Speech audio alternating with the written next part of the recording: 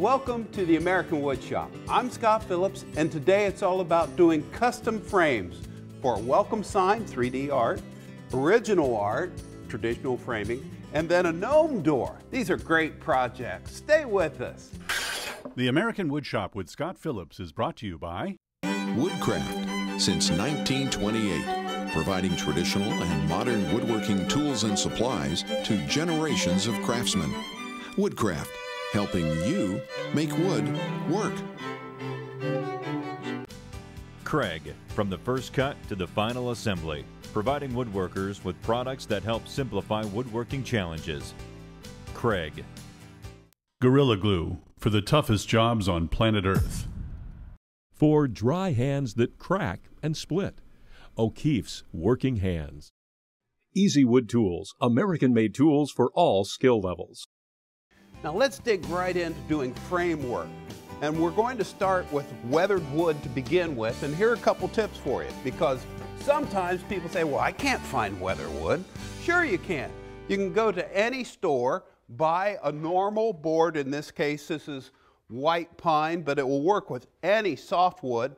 To get this weathered look like that, what you do is you use vinegar and you put in ordinary steel wool, let it rust up for a day, and then you scrub that on with a good glove on, and you let that soak in, and then a day it will look like this, and it will just keep getting darker and richer, and it looks like barnwood. And you don't have to worry about bugs that way. But let's say you recycle some southern yellow pine that's 170 years old, beautiful stuff from Joe Drapp. Thank you, Joe. But it did have a few of these in it. This is called powder post beetle. And it starts out life as a tiny little hole on the outside of the wood. But it will totally destroy the wood over the course of years, and it can stay active for years. So how do you treat that? You use this. It's called Shell Guard. It's a borate salt. Follow the instructions, 50-50 with lukewarm water, and you brush it on, let it cure, and I like to let it dry for at least two weeks, and that will take care of the bugs. So, those are the tips about the wood. And now what we're going to do is some dado work to frame out the 3D carving that you saw Suzy do last week, and also cut frame material for the traditional framing. Off to the table saw. Remember, work safely. Whatever you do, read, follow, and understand all the instructions that come with the tools and products you use in your wood shop. These are prescription safety glasses. I've added the side shields, that's an option, and that's good when you're doing things that can throw chips. Also, I'm using a stacked dado assembly on the table saw with a sacrificial fence, so when I turn it on, I can butt this and get a cut that's 3 eighths of an inch deep and a half an inch wide. And I'm using this feather board on the outfeed to securely hold that workpiece against the fence. Now I'll make these cuts using push blocks and I'll do that for all the traditional framing material that I need. Uh, beyond that, I'll turn off the saw, reposition the fence and the feather board, and I can cut grooves in the very middle of that southern yellow pine. And I'll cut enough of that stuff so we can bevel cut those ends and frame out the sign. So I'll get that all done at the table saw.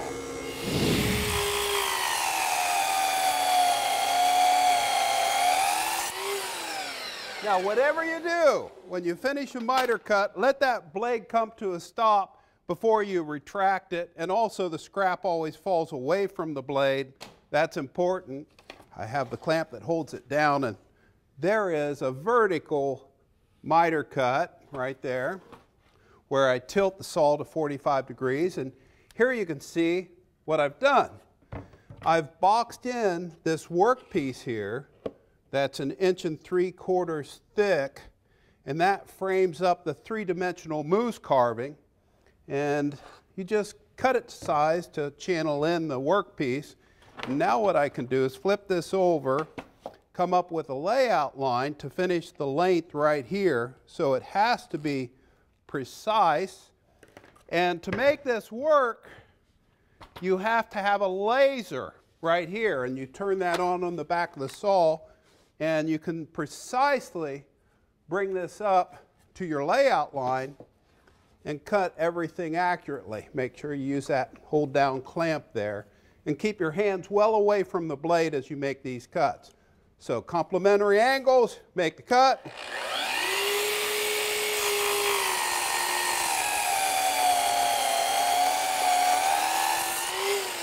Let it come to a stop. That's good. Release the clamp. And that all gets joined together over at the workbench after we finish making the 45 degree cuts to accept the channel for the custom frames. And to do that, what we have to do is release this back lock, swing this into the up and lock position, Next, I release this and pivot this and lock it in at 45 degrees. Bring my workpiece up, and with the laser line, I can easily see my layout lines. I clamp this in place, and now I can make all the mitered cuts. And once that's done, it's over to the workbench to assemble these. Let's take these 3D panels that were carved on last week's shows and slide them into this L frame out of that southern yellow pine. And now what I'm going to do is complete this for a really cool look. And I've put glue on the ends of the joints. I bring up a square and clamp it to the bench so I can square up these corners. And then with side shields on my safety glasses, I use a 16 gauge 2 and a quarter inch long brad nail that has glue on it. And I join that together and I bring this up and frame this entire carving together, getting it in the channel. And that is a masterpiece. That looks so cool. And I'll finish bradding that down in just a moment. I like glue on the ends to size it. But now let me get this over to Suzy because you can see that channel for the beautiful artwork. Well, it needs one more accent on the scroll saw. All right, you got the board for me? I do, and what we're going to do, you can see the channel in the back for the beautiful artwork, and there's my center point. The ends are mitered, and now what I'm doing is I'm lining up the Silver Lake pattern right on the center point, and on the back, I used a temporary bond spray mount adhesive, and you want a temporary bond, and I've let that dry for about three minutes. Otherwise, if you put it down wet, it's a bear to get off. Right. Okay, and then the other thing is she's going to start scrolling the name of Silver Lake right here, and I need to drill that at a four and a half degree angle, roughly. Okay, and that's to pierce the blade through. Now, Suzy, show us how this works here. Well, I've got a practice board here, and as you can see, tilting the table or the blade at a four and a half degree angle is what makes the letters pop out this way, and you also have to cut it in a clockwise motion. But you can kind of see the effect I'm getting here where that's raised, and it's, it's going to look really cool on that frame. Yeah, it really gives it that 3D effect. And we can sand the letters down lightly and that will make it stand out even yeah, more. Yeah, really make and them pop. And then I use a number seven blade, if you can see that. It's a tiny little blade, but gets a great cut with, it's got about 10 and a half teeth per inch. Okay, and it's a great idea to do a practice piece, and it will show you exactly, because of the bevel cut, how much that piece, when you cut in a clockwise fashion, will pop out. And that's how we figured out four and a half was perfect for this. Right, all right, well, I'm ready to cut it out. I'm gonna pierce the blade through this hole that Scott drilled for me. Okay, and while you do that, I'm off to completing frames. All right, I'll get to work. Okay, so I've pierced the blade through the pilot hole. Now it's time to get this all positioned correctly. I want to make sure I get this blade all the way back in the jaws of this chuck and tighten it down here. And then I've got my tensioning lever and that's still a little loose, so I'm going to turn the tensioning knob here maybe just a little bit more. And I think I should be ready. I've got the blower in place. So now it's just time to turn it on and make some cuts. Okay, and I just want to make sure I keep my hands firmly on the table and just let the, the scroll saw blade do the work for me. Just take this turn easy. Just take my time and go and make that curve. And when you're doing those curves, I kind of put a little bit of, just a little bit of tension on the back of the blade that helps me make that turn successfully. The flat of the blades, just like a rudder on the ship, it helps you follow your line.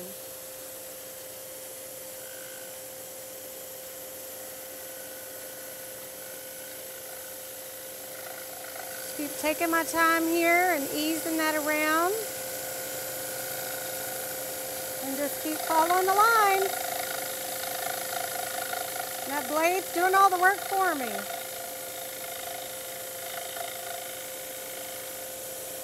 Getting in this curve, so I'm going to kind of pull back a little bit on that blade just so I can finesse this turn. Just take my time. Here, and I want to make sure I still keep pressure on that. And just, ease it around. Just make that cut. Okay, I'm almost through. Oh, that's the sound I wanted to hear. Finish that cut. Release the tension, unlock all this, and we'll pull it up and I'll show you just how this works. Look at that. Pops out perfectly. And see if I take this off, then you can see the letter. If we want that to pop, we can sand it a little bit. So now I just pop it back through there.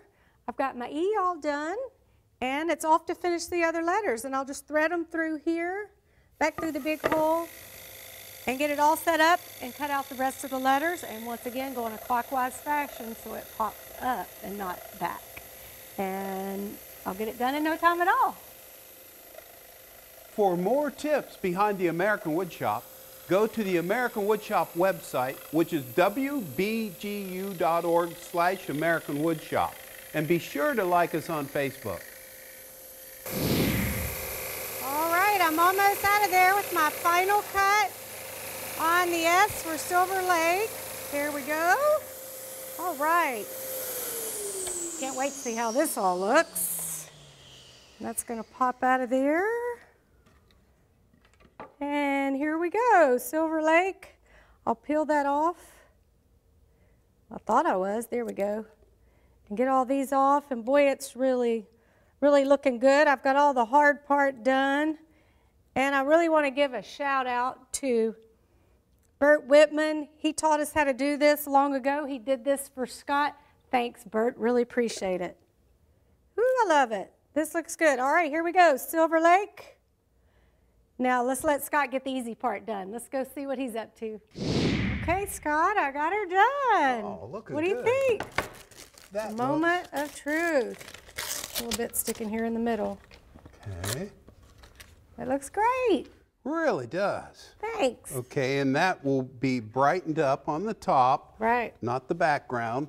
And this is glued in from the back with a good wood glue, but not until the whole frame is assembled because we'll need to lay this flat. So what we'll do is pop those letters flat and then they all come out just like that. Yep. Okay, so set those safely aside. Okay. Okay. And what I'm going to do is create the pocket holes that will join the two sides to the top and bottom. And to do that, this is the back of the frame. I just bring this up so that this jig is centered up so I can drill three holes. So here we go. One, just like that. Two, three. And what I do is repeat that process for all four corners. And the beautiful thing about this is when you draw it all tight together, you don't need clamps, just a little bit of glue on the corners. So I'll get this drilled and then we'll put it together.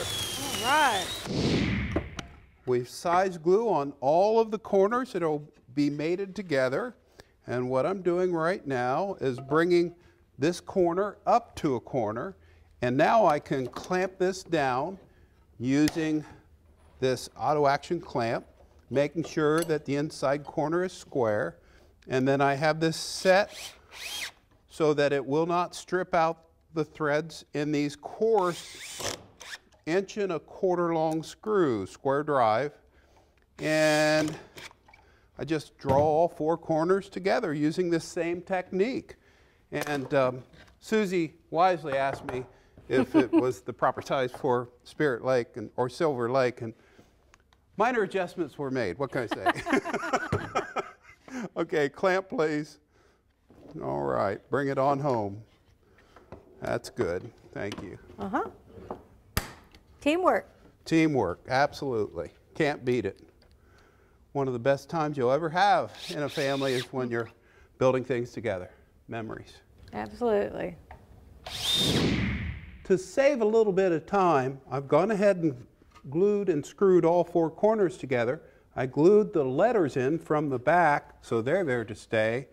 And now what I can do is trim out the edge by bringing up this cedar barn siding and filling out these corners. And see, this was mitered, a vertical miter on the end, and I did that at the miter saw. First I cut one end, and then I used a stop on the rail to cut the other end precisely to the length that I needed. And once that's cut at the miter saw, it's a simple matter of using a micro pinner to tack these work pieces in place. And I put glue on it all the way around. And the glue is the type of wood glue that dries clear. And once I get this trimmed out we'll see how Silver Lake fits this beautiful frame. Oh, one final thing here. Right here, I'm going to sand down Silver Lake just a little bit like this with a little sandpaper to make that really shine. I'll get this finished. I love the way that brightened it up, Scott. I'm going to do the same to the lake. Okay. 100 grit is all it takes just on the tops of the letters. And as she gets that down, this is a clip that clips into the edge of the canvas here that you can see on the back edge like that. Beautiful. Very cool. Okay, and I'll swing this around. We have the channel on the back and those points just clip up and in like so. And then you can put more clips on there, but let's take a look at this to secure it. And there you have it. Wow. That's beautiful. It's perfect.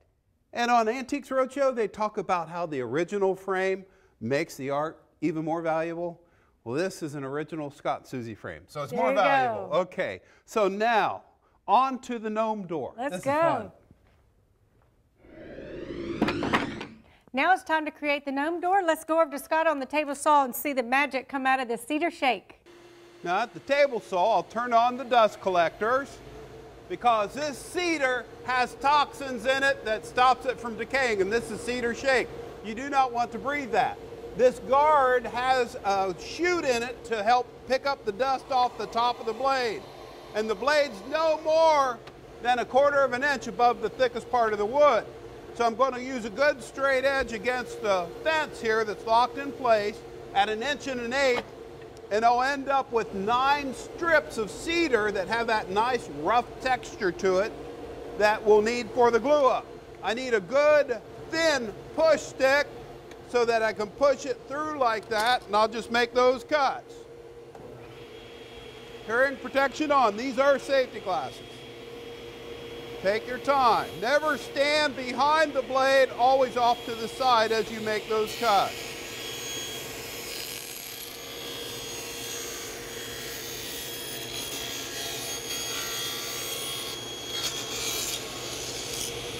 all the way through. Respect that blade. Finish all the slats you need for the door.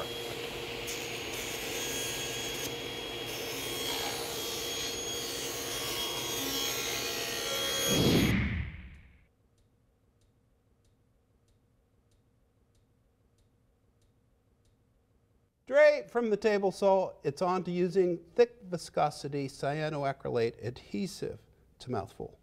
And I put the activator on the mating side and I press these together, just like that, line it up, and I let this entire assembly of nine strips, nine strips wide, cure out. And once it's cured out, I can cut out the door. But Suzy, talk about the frame. Well, once you got the door frame out, it's all about selecting the stones to go around the frame, and I just use thin set mortar and just, just like a puzzle, get them placed in there. And that's all it needs, the mortar to bond to that wood. And speaking of the wood frame, take a look at this. You see that frame? The way I create it is with a bow jig. It's just a thin piece of white oak, about 3 16ths, with a centerpiece with notches to create the curves for the door frame. I make a master template Use that to create the interior door. You want about a quarter inch gap around the edge for the door to work right.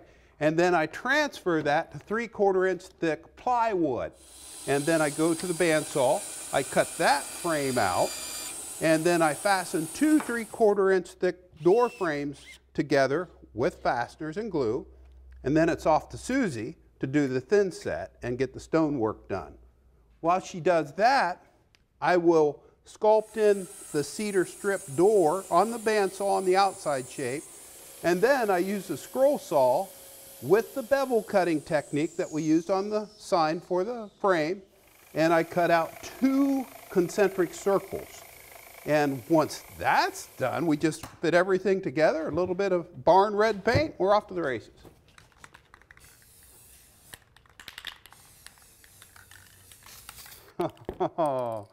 Outstanding. Love it. I do. Great door frame there. Thank you. It was a lot of fun. And now you know how to make your own gnome door, uh, high end, okay? Yeah. now, where are you headed? I'm heading outside. Okay, and I'm off to make a gnome. There's just one problem when you have a gnome door, you have to have a gnome. So I called the gnome carver, Jim Foster, and this is what he came up with, and it's fantastic, Jim. Now, in my mind, carving the face is the hardest thing to do. You even did a gnome here. Yeah, I took a, took a snowman and turned him into a little gnome and put a little pipe in his mouth and made him look kind of cool. oh, he does look cool. Now, give us the tips on carving a face here. Let's see the easy way to carve a face. You got a block of wood. And you got a very sharp knife. Okay. So. And the first thing you do is you make a nose. Okay. So you make the bottom of the nose with a stop cut there, come up above it.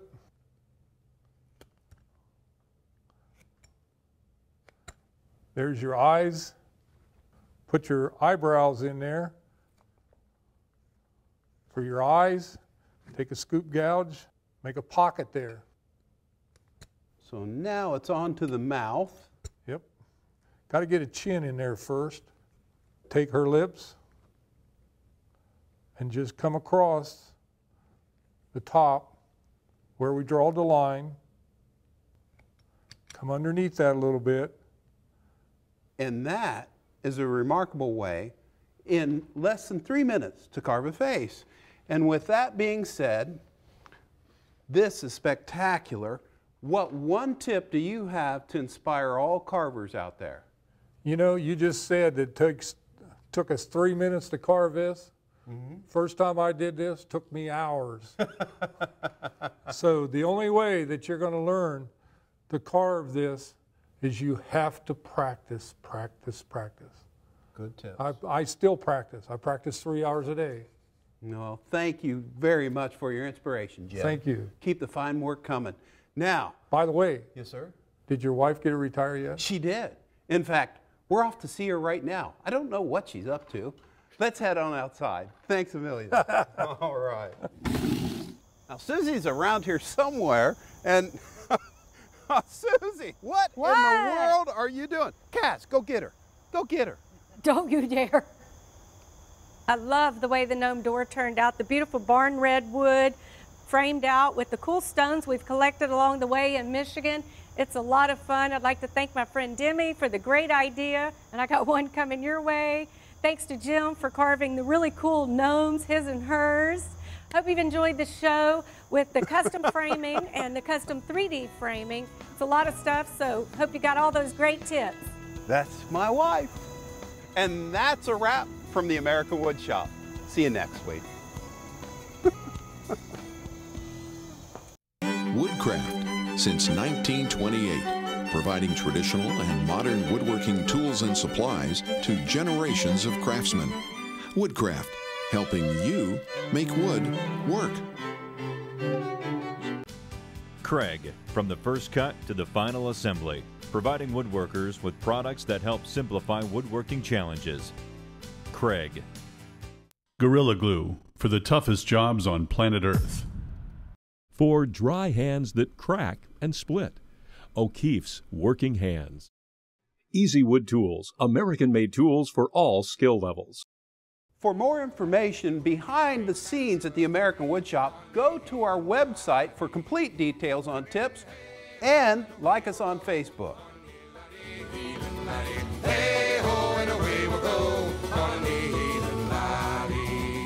Were you ever in Aberdeen? Bonnie Laddie.